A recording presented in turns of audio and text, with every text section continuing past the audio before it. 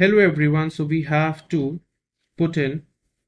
the correct coefficient in place of this equation which is key